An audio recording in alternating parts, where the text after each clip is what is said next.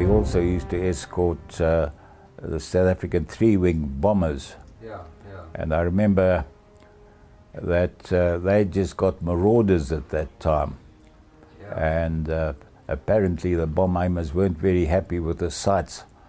They couldn't adjust them properly or do something wrong with them yeah. because they were uh, trying to bomb uh, some bridge up the coast. And uh, they seemed to miss it every time.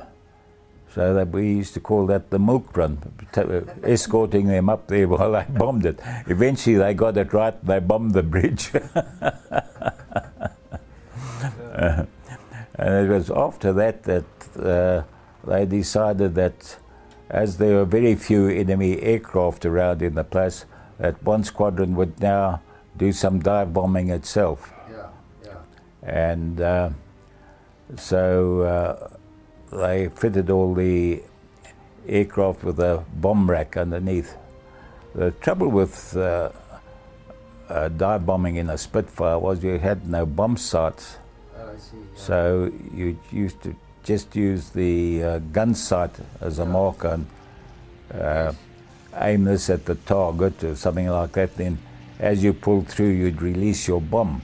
yeah, yeah. And uh, I remember the first time we went out bombing, uh, there were four of us, and uh, we were uh, led by a chap by the name of Cecil Golding Yeah.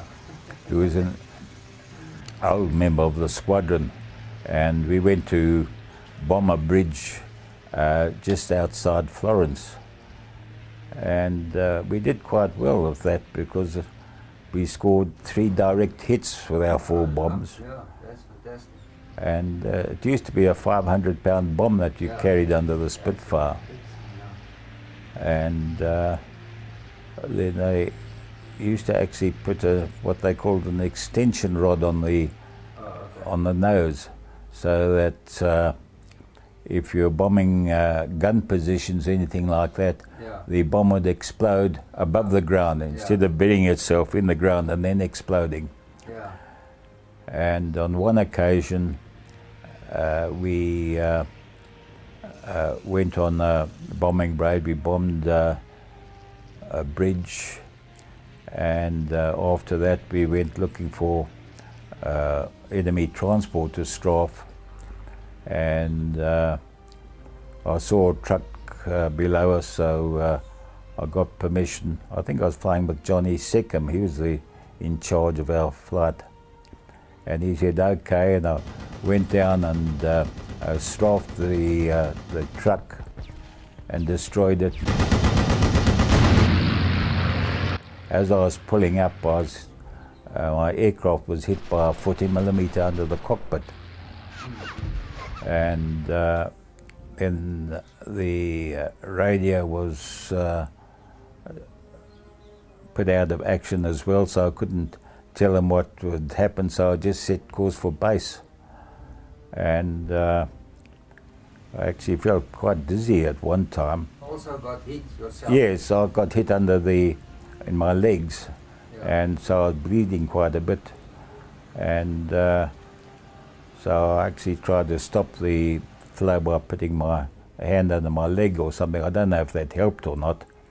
But eventually, uh, uh, I saw the uh, landing ground near Lake Trasimeno. We were not far from that. And uh, so I came into land there and found out that uh, had no wheels, no flaps or anything. So I uh, crash landed on the airfield. Yeah, yeah.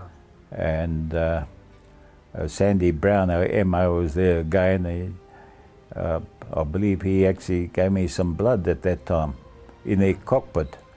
yeah. And then they rushed me off to hospital, and eventually I uh, was uh, dismissed from there and then sent back to uh, The squadron.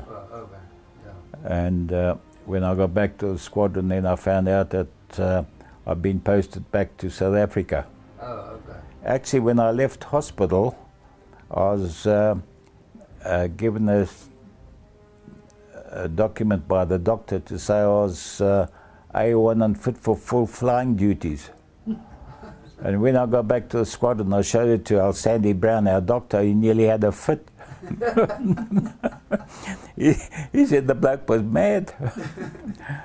but uh, anyway, it didn't seem to worry me at all or anything like that. Yeah, yeah. And uh,